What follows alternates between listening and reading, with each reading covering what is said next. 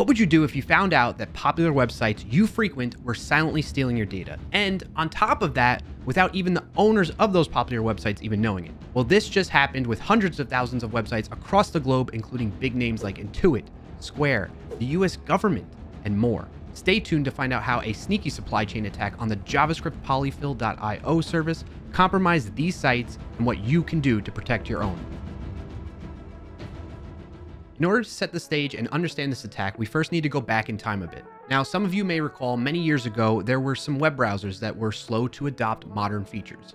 I'm looking at you, Internet Explorer. And as a result, a technique called polyfill was used to help in enabling developers to leverage modern web features, even in browsers that don't support them. How exactly does a polyfill work? Well, it looks at specific HTTP headers found in the request to determine the environment it's coming from and how to best fill in the functionality for features needed by the website being accessed. As an example, let's say a user is accessing the site from a browser that doesn't support array, prototype includes, or promise.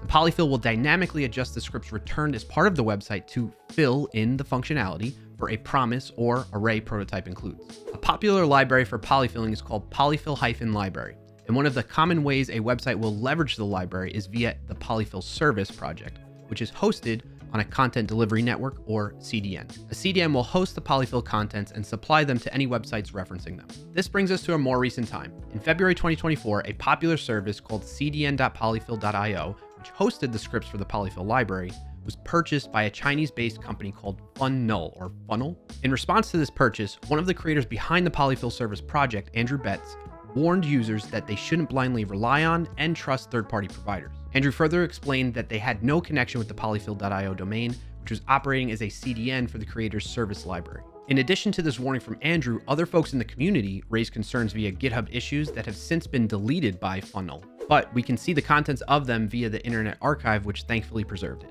Now, fast forward a bit to June 21st, 2024. Google was reported to have rolled out a compromised website error message on the Google Ads application website, which escalated due to reports of a GoogieAnalytics.com domain spoofing attempt. So essentially, instead of Google Analytics, it was Googie. It replaced the L's with I's, okay?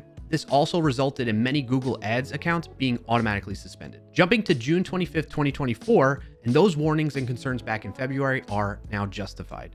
Security firm Sansec published findings that malicious code was being injected as part of the polyfill.io service, which would redirect users to malicious sites and scams. The way this attack works is it exploits the dynamic nature of a polyfill and injects the malicious code into the expected JavaScript assets that load into the websites that are depending upon it. Since this report from Sansec, a lot has happened in response. The owners of the polyfill.io service have attempted to save their reputation by denying the allegations and claiming that they're being maliciously defamed. However, this company hasn't done things that really instill trust in them. At one point, they've changed their DNS records back to Cloudflare-based servers, which could easily be switched later on. And they even tried to include a banner on their website that would indicate Cloudflare security protection, which Cloudflare never approved of or was even reached out to about. But unfortunately for this company, as much as they tried to save their reputation, their domain name provider, Namecheap, has promptly taken down the site to prevent any further damage to affected websites. So if you go to polyfill.io, you'll see a message that the site cannot be reached anymore. Unfortunately, this actually seems to go even further than just the polyfill.io domain.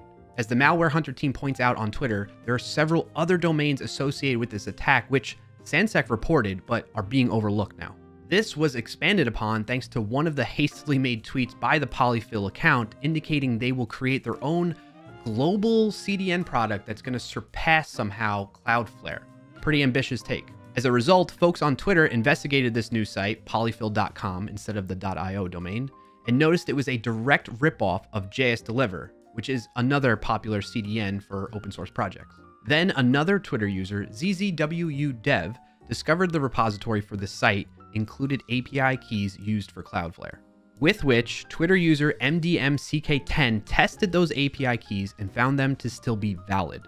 This enabled them to see the other active domains associated with the account and was further reported by the Malware Hunter team Twitter account. The polyfill.io owners are still trying to save face at this time and have set up under yet another new domain to presumably continue their supply chain attack. And this new domain also seems to still be trying to rip off the jsDelivr site just like before. Okay, so now that we're all caught up on these latest events, let's talk about what you should do. A lot of the knee-jerk reactions from the community in response to this incident is that polyfills shouldn't even be needed anymore, and so just don't use them in your projects. Well, duh. And to some degree, this is true, but there are definitely situations where old browsers are still being used for some reason or another. That is just the unfortunate reality. So, first, see if you're referencing any of these compromised domains in your sites. And not just the polyfill.io one, remember, but these other ones as well. If you find that you are referencing these sites, promptly remove them either completely or replace them with a more trustworthy provider. For the Polyfill site, you can use either Cloudflare or Fastly, which are the best options at this time. You could also consider self-hosting these scripts and assets. That way you have greater control over your environment and what you're depending upon. If you want to take things even further to safeguard against these types of threats, here are a few more security best practices. Implement sub-resource integrity or SRI so you can ensure the integrity of CDN delivered content. Use a content security policy or CSP, which restricts the sources from which scripts can be loaded. Keep your libraries updated to make sure you have all the latest changes and security patches. And lastly, audit your dependencies regularly and automatically by using security tools like Snyk for continuous security monitoring. So at the end of all this, what is the moral of the story? Well, I'd say it's exactly what Andrew Betts said from the start. Don't blindly trust and rely on third party sources for your applications. Be more cautious when considering doing so. That does it for this video. If you got value out of it, be sure to like it down below and share it with someone who could put it to use. And if you made it this far, subscribe to the channel so you don't miss out on upcoming videos. Thanks for watching and happy, safe coding, everyone.